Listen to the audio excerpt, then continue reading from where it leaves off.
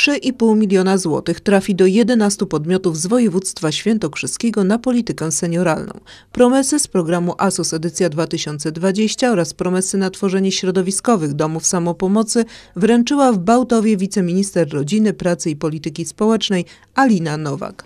Dbamy o to, aby rodzina miała zapewnione świadczenia finansowe, miała bezpieczeństwo finansowe, ale również dbamy o to, żeby rodzina mogła się aktywizować. I przy aktywizacji mówimy zarówno przy tym młodym, mówimy przy, o młodym pokoleniu, mówimy o programach żłobków, maluchów, a przy okazji seniorów mówimy właśnie o aktywizacji społecznej osób w wieku senioralnym. Rządowy program na rzecz aktywności społecznej osób starszych na lata 2014-2020 adresowany jest przede wszystkim do lokalnych organizacji pozarządowych i wyznaniowych, do spółdzielni socjalnych, stowarzyszeń, do spółek akcyjnych i z ograniczoną odpowiedzialnością działających na rzecz osób starszych. Od początku funkcjonowania tego programu ministerstwo przekazało na pomoc seniorom około 280 milionów złotych. Z tej puli środków do województwa świętokrzyskiego trafiło 5,5 miliona złotych. Dzięki realizacjom właśnie takich programów, programów, które zapewniają aktywność społeczną i poprawiają jakość życia osób w wieku senioralnym, czujemy się przez zdecydowanie dłuższy czas ludźmi młodymi i aktywnymi. Aktywność świętokrzyskie organizacje pokazały i sięgnęły po pieniądze w kwotach od 20 tysięcy złotych do blisko 200 tysięcy. W gronie beneficjentów m.in. znalazło się Ostrowieckie Stowarzyszenie na Rzecz Postępu Demokracji Erwin,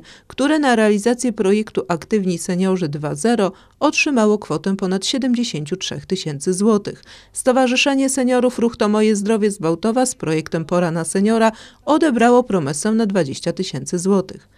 Prawie 100 tysięcy złotych trafi do Uniwersytetu Trzeciego Wieku, działającego przy Wyższej Szkole Biznesu i Przedsiębiorczości, na realizację projektu Pełni Życia, Pełni Sił Senior 60+. Stowarzyszenie Aktywności Kulturalnej Karuzela na realizację projektu W zdrowym ciele zdrowy duch ma ponad 66 tysięcy złotych. Myślę, Szanowni Państwo, że to wielki sukces, wielki sukces tych wszystkich, którzy chcą pracować na rzecz osób starszych. Różne osoby, różne organizacje, ale wszystkie jedno łączy, jedna pragnienie po to, aby działać na rzecz innych. To jest bardzo cenne, bo i tu, tu i w zasadzie świeckie i związane z Kościołem organizacje, ale no wszyscy doskonale się czują w tym, co robią, a rząd stwarza warunki, aby te organizacje miały z czego czerpać, miały z czego rozdawać. Cieszę się z tego, że wśród stowarzyszeń, e, które dzisiaj dostawały pieniądze e, z programu e, właśnie ASOS, były aż cztery stowarzyszenia z powiatu ostrowieckiego, trzy z Ostrowca, jedno z Bałtowa.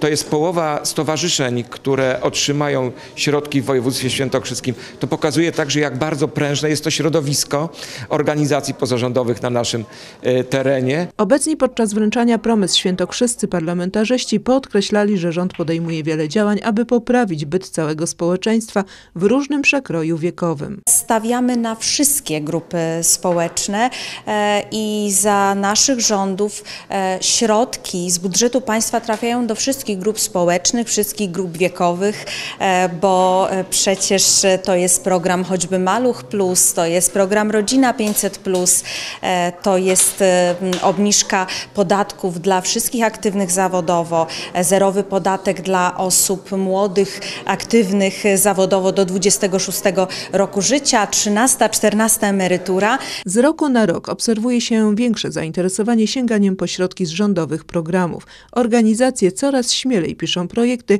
i coraz większe jest ich doświadczenie, co doskonale obrazuje dziewięć odebranych promes. To pokazuje, że w naszym województwie takie projekty potrafimy pisać. Chciałabym zachęcić te miejsca, w których, y, tych, do, do których te środki nie popłynęły, do tego, aby podglądały, co tutaj się dzieje w Ostrowcu, w Bałtowie, w tych y, innych miejscowościach i żeby w kolejnych latach również i w innych częściach województwa y, z programu ASOS pozyskiwać środki. W ten sposób buduje się Polskę lokalną. Polskę, która chce również rozwijać się i dawać możliwości rozwojowe dla swoich y, obywateli. I cieszę się, że również i y, stowarzyszenie działające e, w Uniwersytecie Trzeciego Wieku w Ostrowcu e, i wiele innych organizacji otrzymało wsparcie finansowo, finansowe, aby dawać możliwości e, również działania na różnych polach i wiekowo, e, i e, różnych e, pomysłów. Senator zwrócił również uwagę, że do 2015 roku 80% największych środków absorbowało 20% organizacji tych największych. Małe podmioty były wykluczane, dlatego przyjęta przez rząd strategia od samego początku nastawiona była na zmianę tych proporcji.